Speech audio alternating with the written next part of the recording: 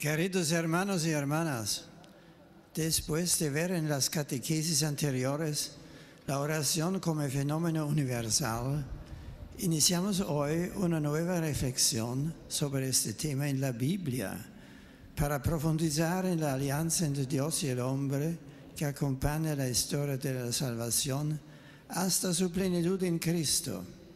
Abraham ofrece un primer ejemplo de oración, de intercesión, cuando Dios le anuncia su propósito de destruir las ciudades de Sodoma y Gomorra, ya que la maldad de sus habitantes había llegado al extremo. El patriarca ora por los que van a ser castigados, presta su voz y su corazón, no se limita a pedir la salvación para los inocentes, sino que implora el perdón para toda, toda la ciudad, apelando a la justicia divina que busca el bien y lo crea por medio de la misericordia que convierte y salva. La intercesión de Abraham se basa en la certeza de que el Señor escucha con paciencia la oración.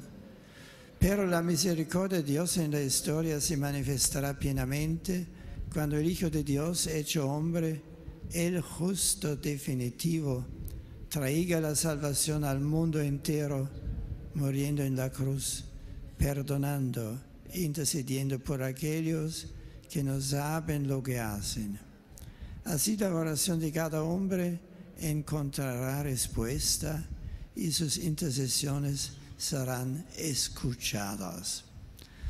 Saludo cordialmente a los peregrinos de lengua española, en particular a los grupos venientes de España, Colombia, Venezuela, Chile, Argentina, México y otros países latinoamericanos. Invito a todos a conocer cada vez más la Biblia, a leerla y meditarla en la oración para profundizar así en la maravillosa historia de Dios con el hombre y abrir el corazón a la sobreabundante misericordia divina. Muchas gracias.